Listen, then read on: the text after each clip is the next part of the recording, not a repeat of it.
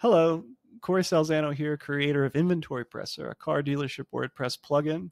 I'm going to see how quickly I can get vehicles to display on the front end of a blank WordPress website using Elementor free version. On plugins, you can see I've got Elementor and Inventory Presser both active. Under my Appearance tab, I'm running the Hello Elementor theme.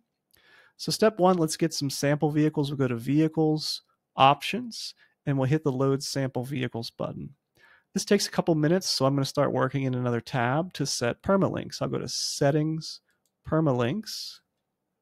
And we want anything but plain, so I'm going to choose Post Name and hit Save Changes.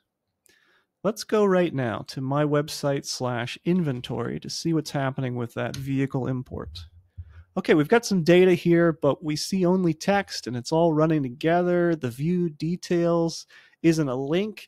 This is what happens when your theme has show excerpts in archives instead of full post content.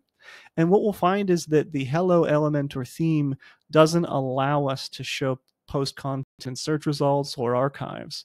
And so I've created a child theme. I'm going to activate Hello Elementor Child. You can get this child theme if you go to inventorypresser.com, look for documentation, and choose the Elementor setup guide. Let's try that front end again. Okay, we've got it. Here are the vehicle default templates in the archive. And if I choose a vehicle, here's the single template. You can see we got a slider.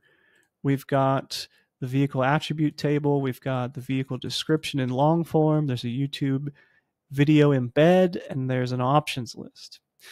And this is the best we can do with Elementor free version. We can't change this template. This is the default template that I provide inside the Inventory Presser plugin.